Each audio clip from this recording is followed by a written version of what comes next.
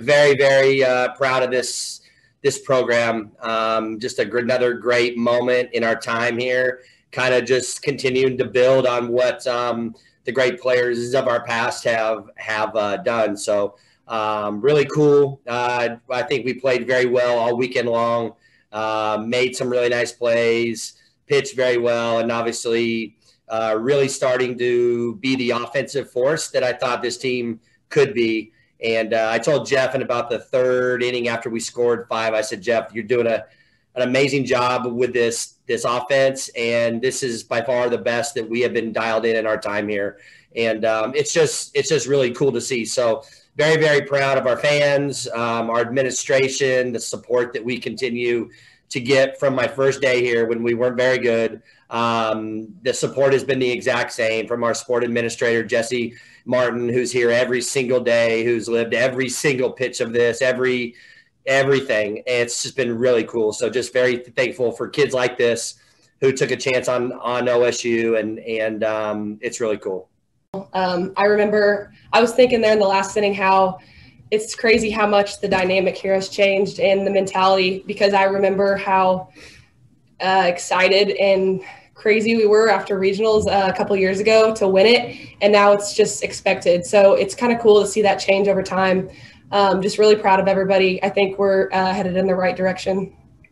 But I just think we knew that we didn't play our best uh, the Big 12 tournament. I think we were a little tired, you know, going into that second day, but uh, we were pumped. We were ready. We kind of took a team retreat and just uh, stayed together and bonded a lot. And I think our chemistry this these last few weeks have pushed us to win a lot of games. So, uh, yeah, we were really excited about our matchups this weekend, and then it's been fun uh, ever since. So. Yeah, and I think the crowd. Uh, I mean, we we feed off this crowd. It was weird. It was kind of. I thought the start of this game it was kind of eerily quiet. Um, I felt that a little bit in the dugout. Um, I was trying to kind of, I was just kind of watching, just kind of listening. Both teams were quiet. I don't know if it was like you weren't sure if the game was going to start because of rain. I don't sure. I'm not sure if that's a little bit of nerves, to be very honest. I mean, I, I know I woke up this morning way before my alarm clock. Um, yeah, I usually do, but I was really early today. Um, kind of like antsy, you know, just had that antsy type deal. I couldn't sit still in my office. And then the rain comes, and I'm like, dang it, you know, we've done so much. And and now you know is it going to drive the crowd away? And it was kind of a sparse to start out with. And then it just started filling up. And i don't you know it's sunday. It's hard on a sunday at one o'clock. There's rain. But man as we got going there and we hit the first home run i was like uh-oh they're they're they are here.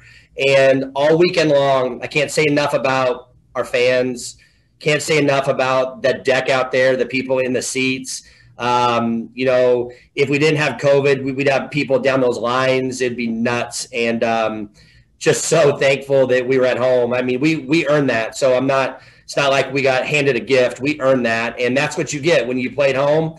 And I think we have as good of atmosphere anywhere. Uh, I know that Alabama is really good and LSU is really good, but man, this is really good for what we have for our limitations. This is as good as it gets.